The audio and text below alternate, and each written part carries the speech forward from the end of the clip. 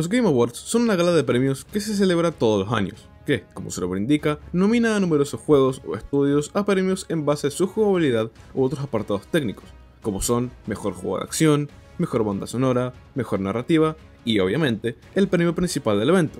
el juego del año. Pero hoy no vamos a hablar específicamente de esto, sino de dos cosas que se anunciaron de forma sorpresiva durante la gala. Pues ahí, como ya nos habían anticipado los desarrolladores, se anunció Ark 2 la secuela del famoso juego de dinosaurios Ark Survival Evolved, y algo que ha entusiasmado a muchos, Ark The Animated Series,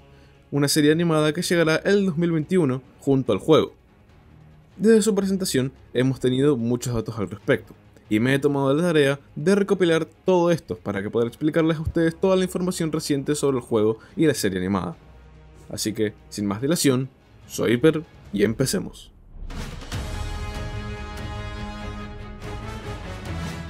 En primer lugar, gracias a la cuenta oficial de Twitter de Ark, sabemos que Ark 2 se tratará de un juego multijugador online de supervivencia sandbox, por lo cual se ve que el juego no será muy distinto de su primera entrega, algo que me alivia, pues había rumores, ahora falsos, de que decían que el juego iba a ser una entrega de un jugador enfocada a la historia. No es que no me guste la idea, pero es mejor mantener la esencia de Ark. Además, gracias a varias cuentas de los desarrolladores de Ark, sabemos que este juego llegará a PC y a Xbox Series X y S de forma exclusiva, siendo uno de los primeros juegos optimizados para estas consolas. Así que sí, no habrá versión de PlayStation por ahora, algo que ha enfurecido a muchas personas que tienen estas consolas. Pero personalmente a mí no me afecta tanto, pues ya había notado que Wildcard, la empresa que hace Ark, y Microsoft últimamente se habían estado asociando bastante por lo cual desde mi punto de vista tiene bastante sentido. También tenemos la descripción oficial del juego. Ark 2 empuja a los jugadores a un brutal nuevo mundo de supervivencia primitivo, contra la bestia y el hombre, enfrentando las amenazas siempre presentes de dinosaurios inteligentes y hiperrealistas, fauna alienígena agresiva y entornos exóticos de un planeta sobrenatural.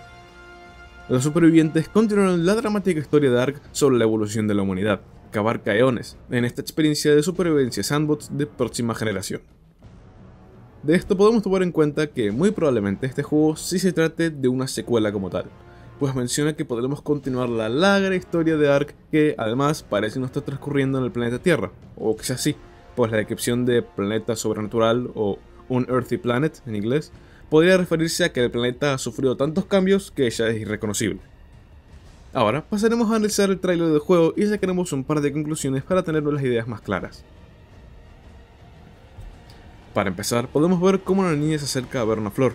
para que ésta se cierre y se nos revele que realmente se trata de una criatura similar a un reptil, que utiliza su boca para camuflarse. Luego aparece el personaje del cual hablaremos más adelante, pero que es interpretado por nada más y nada menos que Vin Diesel, el cual no solo es un actor que participará en el proyecto, sino que de hecho se trata del presidente convergente creativo de Wildcard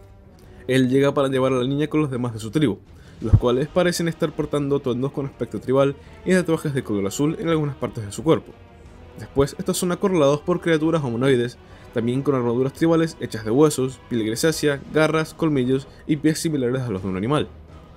Las criaturas inician una batalla con la tribu de los humanos, y durante la misma se oyen unas pisadas detrás de unos árboles y se ven a unos arqueópteros volar, para revelar que estos estaban siendo acechados por un Tyrannosaurus el cual tiene un aspecto ligeramente distinto al visto en la anterior entrega, pues a pesar de que la cabeza es prácticamente la misma, el cuerpo tuvo alteraciones notables, como unas mejores proporciones y filamentos que recorren toda su espalda y cola, y hasta en sus brazos. Realmente después de esto no ocurren cosas tan interesantes que valga la pena analizar, pero básicamente estos siguen peleando con las criaturas humanoides y al final terminan huyendo a una cueva, cuya entrada es destruida por el Tyrannosaurus que los perseguía. Aquí viene la parte importante, y que hizo darnos cuenta a todos que esto se trataba de Ark durante el evento de los Game Awards. Pues en medio de la oscuridad se ve como sus implantes de muñecas se iluminan y deciden avanzar por la cueva encontrando ruinas de lo que posiblemente antes sea una base humana, pues no solamente hay tecnología avanzada, sino que también hay piedras con pinturas en ellas. En la primera piedra se puede ver un obelisco rodeado por lo que parecen humanos y dinosaurios siendo montados por ellos, y en el centro se puede apreciar al robot holográfico HLNA, la cual fue creada por Elena, el primer Homo Deus, para guiar a nuestro personaje en el juego anterior. Aquí se nos confirma la vuelta de muchas especies como son el Trike, el Stego, el Para, el Quetzalcoatlus y lo que podría ser algún tipo de saurópodo como el Brontosaurus, junto a otras dos criaturas que desconozco. En la segunda piedra podemos ver a varios manos con implantes y sus muñecas, siendo guiados por HLNA, en un anillo el cual deduzco podría tratarse del anillo que se ve en la nave colonial que podemos ver en el trailer de Genesis 2. En el fondo también se pueden ver otras pinturas, pero debido a la resolución de la imagen no puedo ver de qué se tratan. Luego se revela quién es el personaje interpretado por Vin Diesel, pues se acerca a un panel, el cual lo escanea, y muestra sus datos, mostrando que se trata nada más y nada menos que de Santiago, uno de los personajes más importantes de la historia de Ark, pues el Santiago original fue uno de los responsables de que todo el planeta se vaya a la ruina, pero como casi todos los personajes de Ark, muy probablemente se trate de un clon, sin sus recuerdos, pero sí sus conocimientos, pues él se trata de un miembro de la Federación Terra, por lo cual conoce bien la tecnología Tech.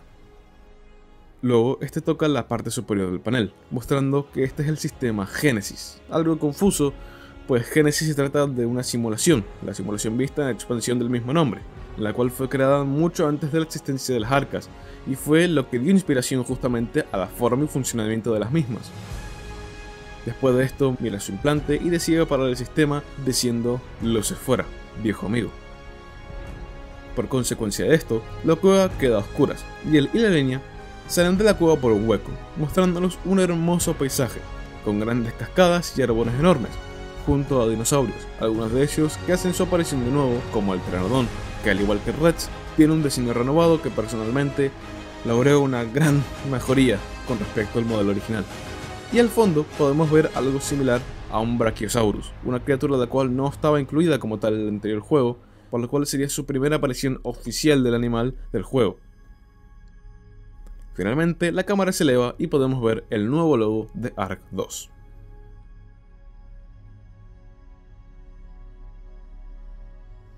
Por último, cabe aclarar que todo lo visto en el trailer está renderizado con el motor gráfico del juego, usando assets que se verán en el mismo, por lo cual podemos esperar modelos y gráficos Next Gen.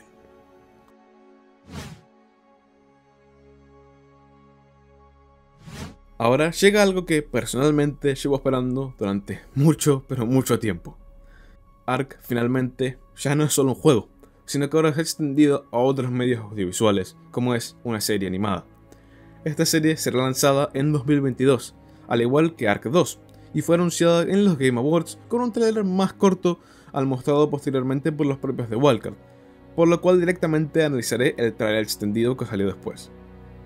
La serie será contada desde el punto de vista de Ellen Walker, paleontóloga australiana del siglo XXI, que para los que conozcan la historia de Ark sabrán de quién hablo, pues es un personaje muy importante dentro del lore hasta el punto de posiblemente ser considerada la protagonista junto a nuestro personaje. Además de que también podremos ver a otros personajes y diversos momentos históricos, todo esto transcurriendo en The Island, la primera arca en la que estos personajes aparecen, la serie por ahora tiene dos temporadas confirmadas, teniendo la primera alrededor de unos 14 capítulos de una duración aproximada de 30 minutos, y será dirigida por el director Jay Olivia, conocido principalmente por las series Batman The Dark Knight Returns y Justice League The Flashpoint Paradox.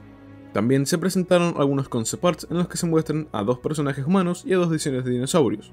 siendo los dos diseños humanos Elena Walker y Mei Jin Lee, con los dinosaurios tenemos a un Ankylosaurus que la verdad es muy parecido al del juego y un dodo que al igual que el anquilo es bastante fiel a su contraparte del juego.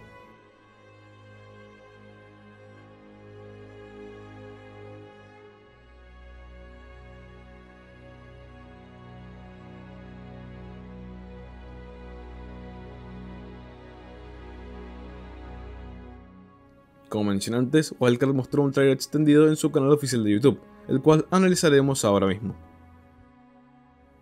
Al principio podemos escuchar las voces de diferentes personajes de culturas y épocas distintas. El primero probablemente se trata del general romano Gaius Marcellus Nerva. Luego pasamos a Mei Jin Li, una real rebelde china del siglo III, que los fans de Ark conocemos bien, pues se trata de uno de los personajes principales de la historia. Después pasamos a otro personaje que parece ser nuevo, pues no estaba en la historia original de The Island, se trata de Thunder Comes Charging, un guerrero Lakota del siglo XIX. Después se nos muestran varios planos de diferentes estructuras y se escucha la voz de Santiago.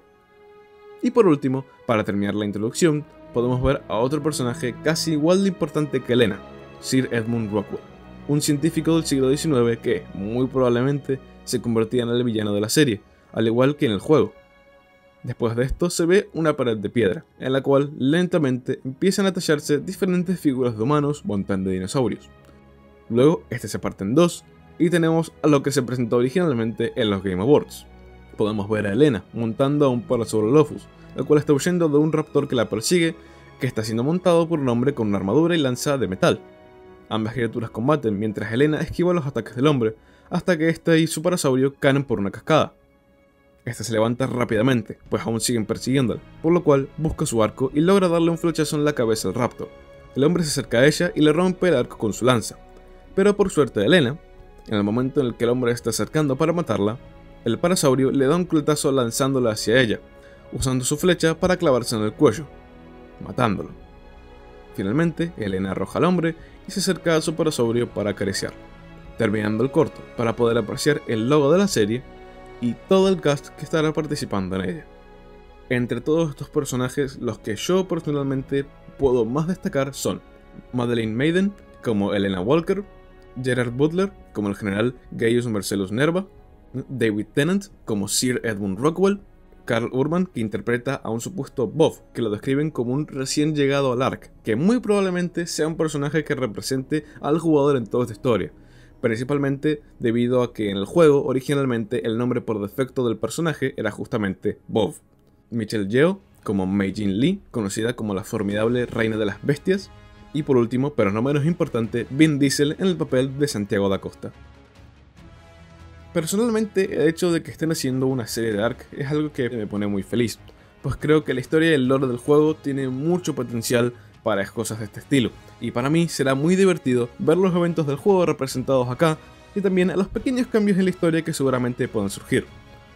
Por otro lado, Ark 2 es algo que de verdad estoy muy emocionado también, pues de verdad nunca creí que anunciarían esto, a pesar de que ya nos habían dicho que iban a anunciar algo grande, no se me pasó en la cabeza nunca que sería la secuela de Ark que tanto estuvieron anticipando.